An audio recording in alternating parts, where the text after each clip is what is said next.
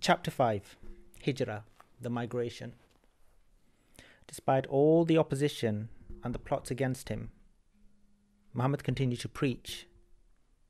He spent most of his time preaching outside the city in the valleys and the settlements outside uh, Mecca, at a place called Aqaba between Mount Hira and Mina, a few miles from Mecca. And he met and preached to a group of six men from the northern city of Yathrib, who had come to attend the annual pilgrimage and fair that was part of the ritual year in Mecca. They listened earnestly to Muhammad's words. The meeting ended with their conversion and an accord. The men would take the message of Islam back to their city and return the following year. Muhammad sent some of his followers to Yathrib to read the Quran and instructed them in the religion. The next year, a bigger delegation arrived, some 73 men and two women, to meet with Muhammad at Aqaba. The meeting led to the second covenant of Aqaba, in which the visitors agreed to protect Muhammad as they would protect their own women and children.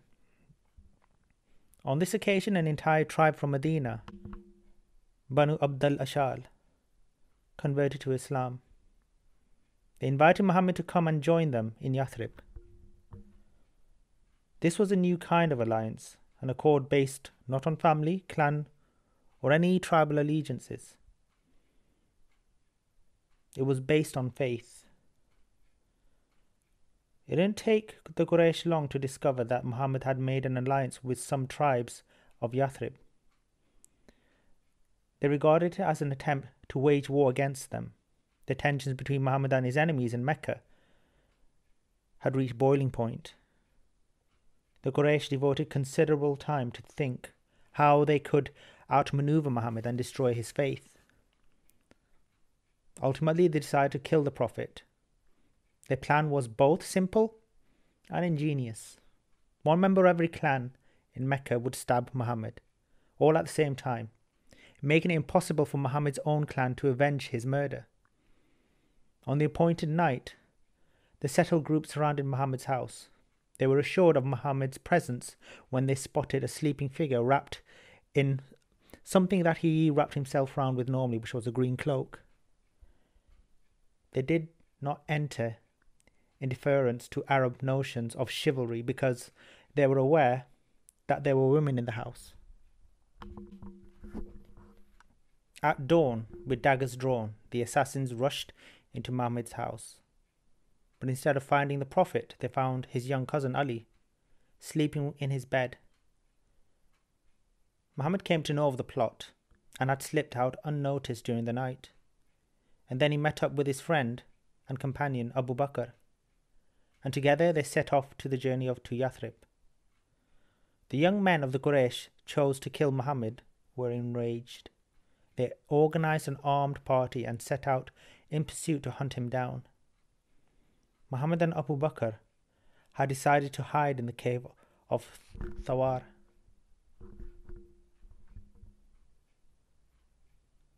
It was to the south of Mecca in exactly the opposite direction to the nor- normal route. This was kept well guarded and secret, yet the search party managed to trace their steps up to the foothill of Mount Thawar. I'm gonna say it spells it differently. First, um, okay, I'm moaning. Okay, from where the trail ran cold and the trackers were brought to a standstill, they searched for three days, but could find no trace of Muhammad or his footprints. Eventually, they gave up and returned to Mecca. Let me get back to it. It says Mount Thawar. Thawar is spelled T H A W R in one section, and then another T H W A R. So they switched the W and A around. Anyway, never mind. All this jiggery pokery of the translations. Okay. When the coast was clear, Muhammad and Abu Bakr continued their journey to Yathrib, as if they did not take the usual caravan route but kept to the desert. Their journey was exceptionally hard. There was nothing to alleviate the remorseless sun, nor was there any water to quench their thirst. They travelled for seven days, hiding from the heat of the sun and potential threats during the day, and moved swiftly at night. Muhammad's followers, the entire Muslim community, had already slowly and systematically slipped out of Mecca and made their way to Yathrib. But back, back in Mecca, Ali was returning the deposit and trust that the Meccans had kept with Muhammad and was repaying his loans or returning other things he had borrowed. Muhammad received a rapturous reception in Medina, which is the same as Yathrib. In his honor, the name of the city was later changed. Ah, there we go. Forever after Yathrib would be known as Medina, Medina, Medinatul Nabi, the city of the Prophet. Usually shortened simply to Medina. There's a subsection here Islamic calendar. The Prophet's migration from Mecca to Medina, known as the Hijrah, took place in 622 of the Common Era. It marks the beginning of the Islamic calendar. It's a lunar calendar consisting of 12 lunar months, which are not synchronized with the seasons. It drifts by 10 or 11 days a year. And the seasonal relation repeats about every 33 lunar, cal- uh, lunar years. The days are given as AH, Anno Hijri, Hijrah, or after Hijrah.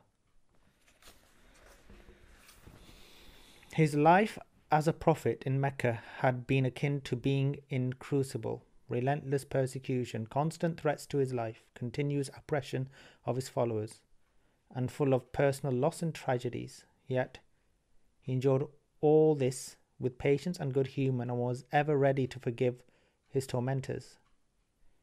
Even his sworn enemies had complete trust in him and respected his integrity, humility, kindness, and compassion.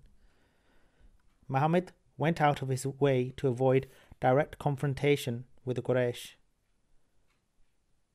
And when faced with violence, always chose a non violent way out of its predicament.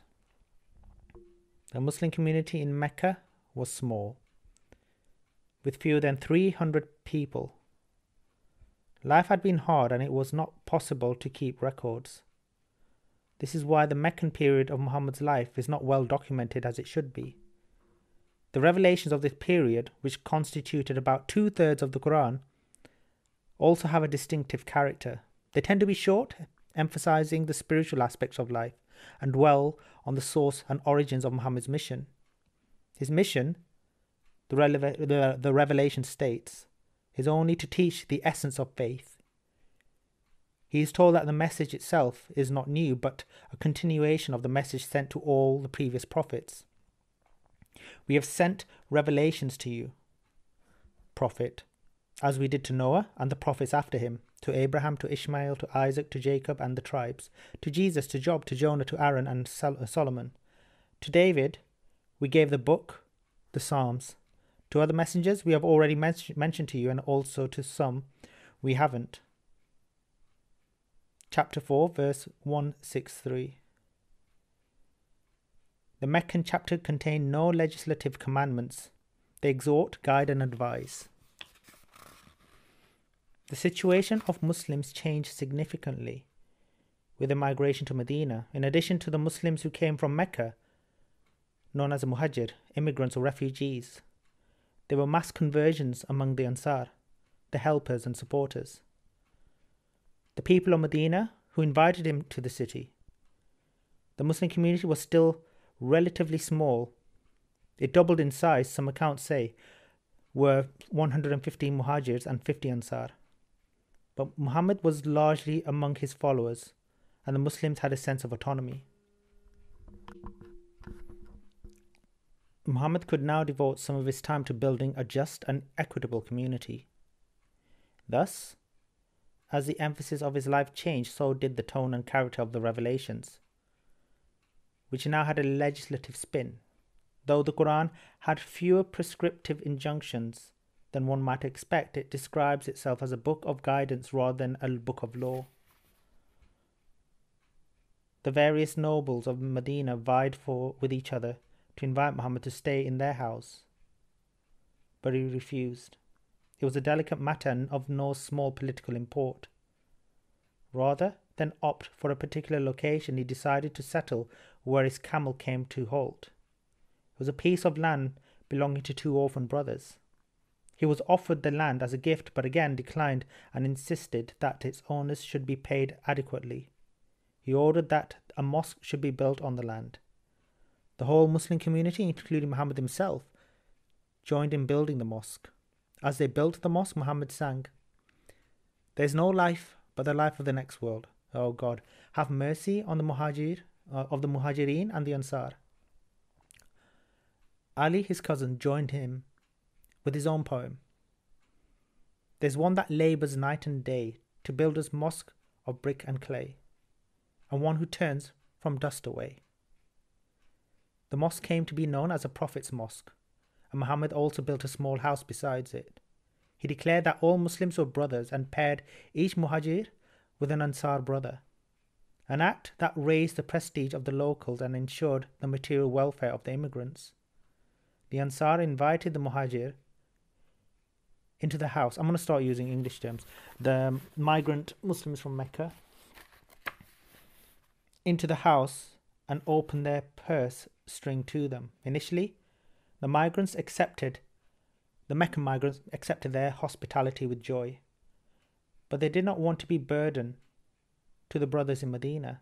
The traders among them quickly established themselves and were able to make a substantial living. Those who could not engage in trade took to farming and land owned by the what's called the native Ansar under the system of sharecropping. The arrangements not only provided for mutual assistance between the two groups, they also established the bonds of real fraternity. The Muslims were now forged into a strong, indivisible community. During this initial period in Medina, Muhammad also established a call to prayer the Azan, which throughout the Muslim world summons the faithful to prayer for the Sunnis five times a day. As Bilal, the slave who was tortured in Mecca, had the utmost beautiful voice, and he was asked to make the first call to prayer. Other religious institutions, such as the obligatory poor tax, zakah, the fasting during the month of Ramadan, were also established. The Azan translated into English. God is great, God is great. I witness that there is no God but the God. I witness that Muhammad is the prophet of God. Rise to prayer, rise to felicity. God is great, God is great. There is no God but God. Muhammad asked his followers to show kindness and mercy to others. Avoid pride and haughtiness. Be just and modest in all matters, and pay attention to personal, personal hygiene. As for himself, he led a rather ascetic life, shunning all extravagance and luxuries. In Mecca, the Quraysh were seething with anger. They had managed to throw Muhammad out of the city of his birth, where he grew up, met and married and beloved, his beloved Khadijah and where he had his first experience of revelation. But in Medina, Muhammad presented an even bigger threat to their power and privilege because he could now preach freely and spread his message more widely than ever before. The Meccans became more determined to crush Muhammad and exterminate the nascent Muslim community. Oh, finish this one. It's quite short.